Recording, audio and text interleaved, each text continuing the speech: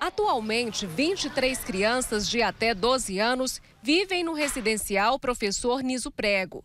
Todas vítimas de violência doméstica ou abandono tiveram direitos violados e encontram-se sob medida protetiva.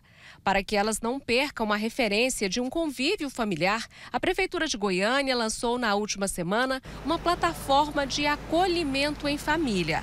A intenção é despertar o lado solidário mais comum no Natal, mas o programa existe durante todo o ano. Essa família vai cuidar dessas crianças até o juizado ter uma definição do seu futuro, se volta para a família se volta para a família de origem ou se entra na lista de adoção. Basta entrar no site www.goiania.gov.br e digitar Família Acolhedora na busca. Será feito um redirecionamento de página e informado todos os dados necessários para participar. Vai existir uma bolsa em que a, prefeitura vai oferecer para essas famílias, para que essas famílias possam é, receber essas crianças e dar o amparo que elas necessitam. Uma triagem será feita com uma equipe de psicólogos e a autorização para receber o acolhido em casa será dada pelo Juizado da Infância e Juventude. Todo o processo é acompanhado pela Defensoria Pública do Estado de Goiás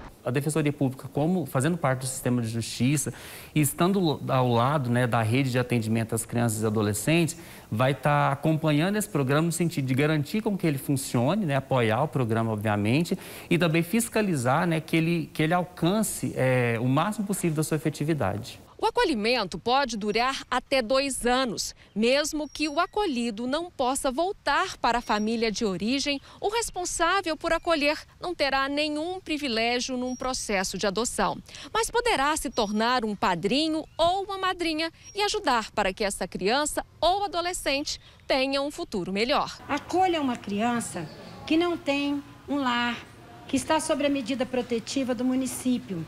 Dê a ela o carinho e a oportunidade de estar dentro de um lar.